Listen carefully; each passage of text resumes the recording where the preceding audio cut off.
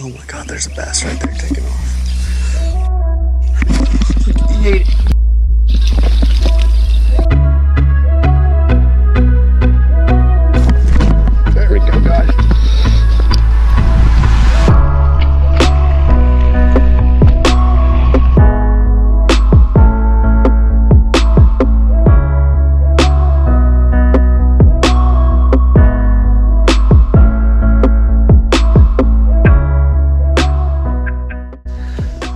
Guys just wrapped up another morning of pond fishing with the rat. Had a decent amount of success. Had a lot of short strikes here. Um, today, this video is going to be of yesterday and today.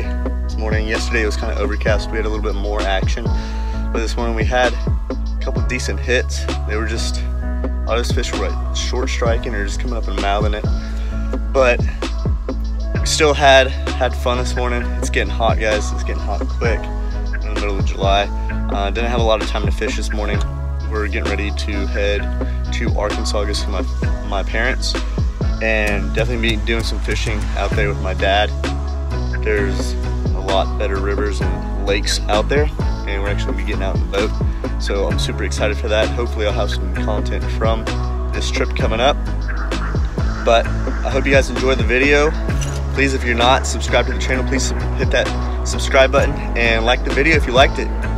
And at the end of this video I'm gonna kind of break down how I fish this rat and the techniques that are working for me in these smaller bodies of water.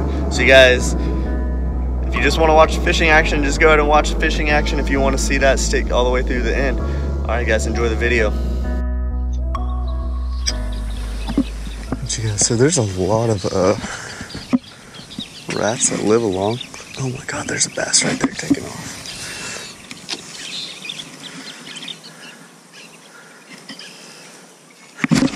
He ate it.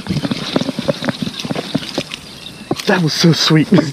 oh my gosh, guys. Holy crap. I saw that fish, I spooked him and he started slowly swimming off. And uh, I threw it out there and he ate it. That's insane. Alright, you guys, I don't even remember what exactly I was. I don't even remember exactly what I was saying. I think I was saying something about these. There's a lot of rats around this this pond. But anyways, I uh, was walking up and I saw a fish kind of spook. He was swimming off. I could see him on top, and I threw this out there. He came up there and just destroyed it right away. It's awesome. Not a real big fish, but that was insane. Hopefully, we can uh, do it again. Get the release on this guy real quick.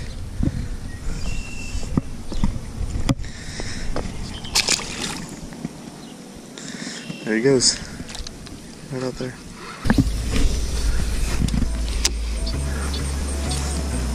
Oh, we got hit already.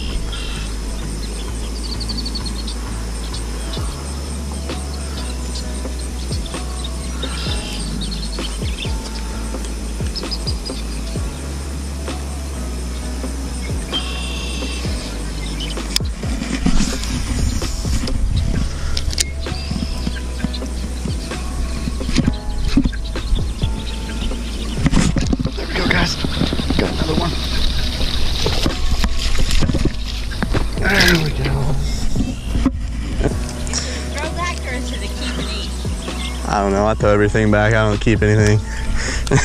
Then you just have to clean up. yeah. You have a good one. You. Thank you. All right, guys, another fish on the rat. All right, guys, second one on the rat. See what else we can do. All right, you guys, it's the next morning. We uh, don't have very much time to fish, so I'm probably just gonna walk around this pond twice real quick. We got a little bit different conditions. Definitely bright and sunny this morning, so we'll see if topwater's still gonna get the job done. But my plan is to go around once with the rat, and then we're gonna punch through this grass the second time, and we're gonna dip out of here. So hopefully we can get on some action this morning. Let's do this thing.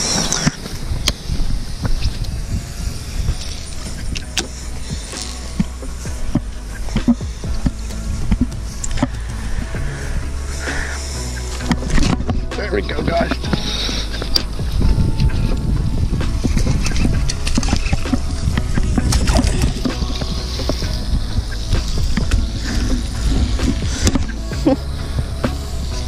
the freaking reel popped out of the reel seat. Look at that. I thought it broke for a second. I thought I'd be pissed.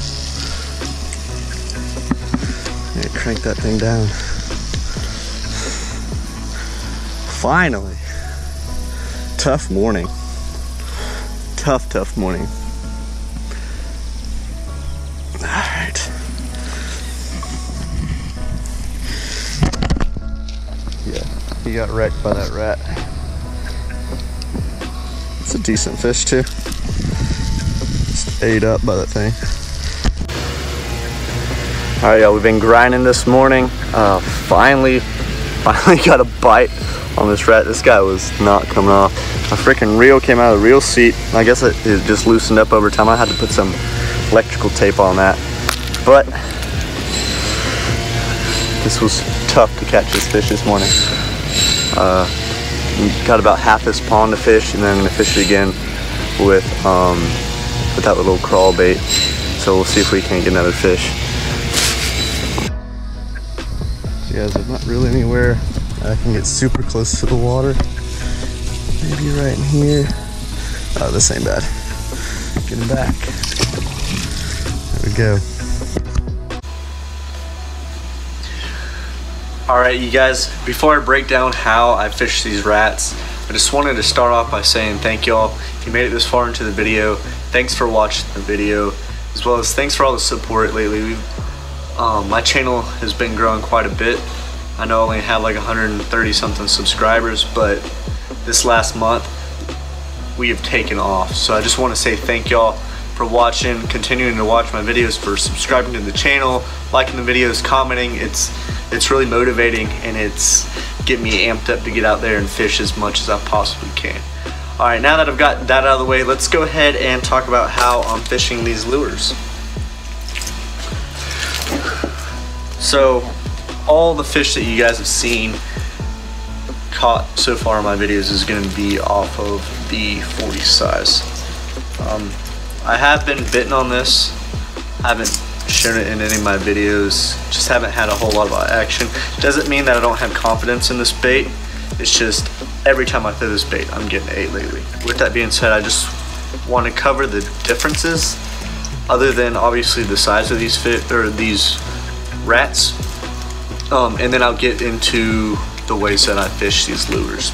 The main difference between these two lures is with, with the way they fish there's really two main differences.